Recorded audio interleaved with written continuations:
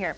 Okay, uh, Amy, the face of MyINDY-TV 23, uh, you've taken full advantage of the beautiful weather and been out and about and even uh, stopped by a monument I know all of us are familiar with, but not everybody maybe has been on the inside. Right. I think people overlook the uh, the massive treasure that we have right downtown on our circle, and they don't know too much information about it.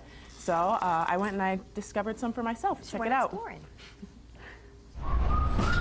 Looking for something fun to do? Why not visit the Circle and explore the Soldiers and Sailors Monument?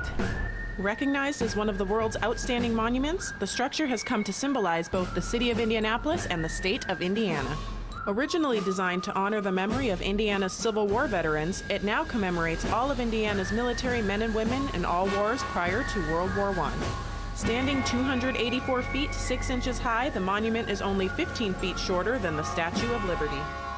Constructed of very high quality limestone from Owen County and having a foundation depth of 30 feet, the structure is extremely durable.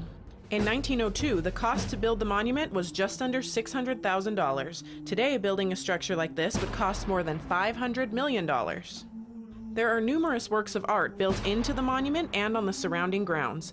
When you visit, take time to observe the many groups of statues, including War, Peace, the Dying Soldier, and the Home Front.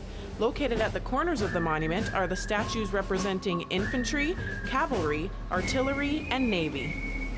The east and west sides of the monument feature beautiful large fountains which cascade 5,000 gallons of water per minute. Did you know that you can actually go to the top of the monument? The observation deck is enclosed in glass 231 feet above the ground. There are two ways it can be reached by elevator or by challenging yourself to conquer the 331 steps to the top. Once you make it to the top, the view of Indianapolis is breathtaking. Just below the monument is the Colonel Eli Lilly Civil War Museum. Don't forget to stop by and learn more about Indiana's contributions to the war. Admission is free, but donations are greatly appreciated. Victory stands atop the monument and completes the masterpiece. The design of the bronze sculpture is a combination of the classical Greek victory image and the American image of liberty. Her torch symbolizes the light of civilization and sword, justice. The eagle on the sculpture's brow represents freedom. Since 1902, the monument has stood as a tribute to the past and inspiration for the future. It is the only monument in America dedicated to ordinary soldiers and sailors. How much do you know about the Soldiers and Sailors Monument? There's so much to discover.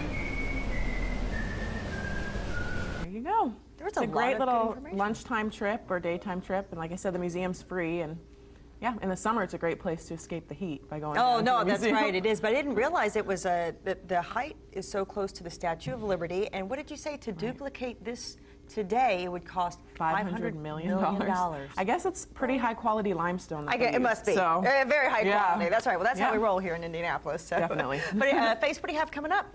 Um, of course, Circle City Classic is this weekend. I'll be Mm-hmm. hanging out at the parade, doing a little emceeing for the crowd on the street. Fabulous. So that'll be fun. All right. Yeah. We'll look for you. Yeah. All right. Thank you so much. Did you Thank say you. anything else? Um, zone game on Friday. I knew it. See, I knew Yep. there was one more thing, Football. Tracy. I was just like, are you sure that's it? For real?